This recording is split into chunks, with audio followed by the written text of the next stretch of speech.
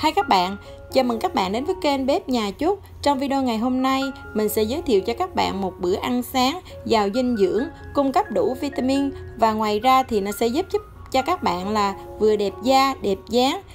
Và bây giờ các bạn xem mình cùng thực hiện nhé. Đây mình chuẩn bị hai gói yến mạch à, yến mạch thì sẽ giúp mình là đẹp da à, không có tăng cân và cung cấp đủ vitamin à, yến mạch thì nó cũng rất là dễ mua. Thường thì nó sẽ bán ở các siêu thị hoặc là các à, nơi cung cấp à, thức ăn dành cho sức khỏe. À, và mình sẽ có là hạt chia thì hạt chia thì à, các bạn à, à, cho khoảng một muỗng thôi.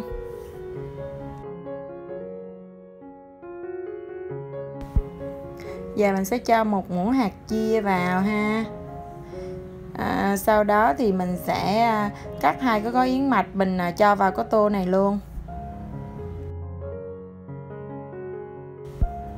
Hạt chia thì cũng rất là tốt cho tim mạch. À, mỗi buổi sáng thì các bạn à, có thể là lấy một muỗng hạt chia mình khuấy với nước ấm thì mình uống thì cũng à, tăng cường sức đề kháng nữa.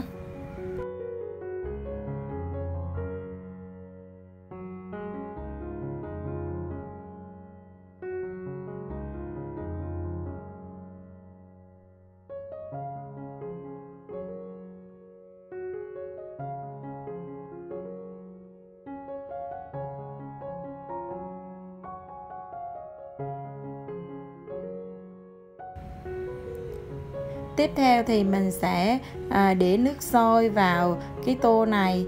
À, mình sẽ chế nước sôi là ngập hết cái phần à, à, bột à, yến mạch với lại là hạt chia. Sau đó mình để cái tô này nó thật nguội và mình sẽ cho à, sữa chua cũng như các loại trái cây vào ha.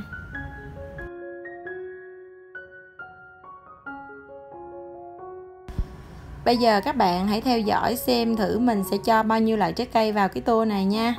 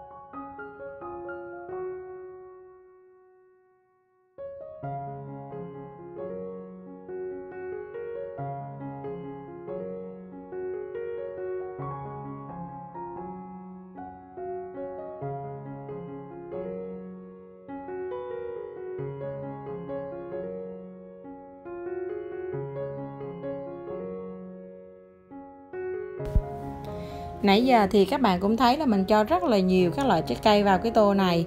À, nhà mình có bao nhiêu loại thì mình cho hết vào. À, tất cả những cái trái cây này là đều là những cái trái cây rất là à, giàu dinh dưỡng và à, khi mình ăn thì nó sẽ giúp mình là à, tăng sức đề kháng đẹp da đẹp dáng và à, sẽ tạo cho mình à, một cái năng lượng để cho một ngày làm việc.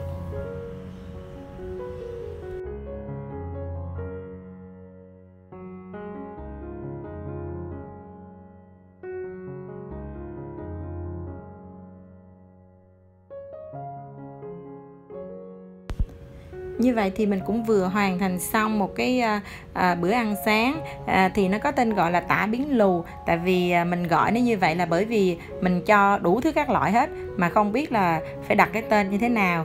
À, bây giờ mọi người cùng thưởng thức nhé.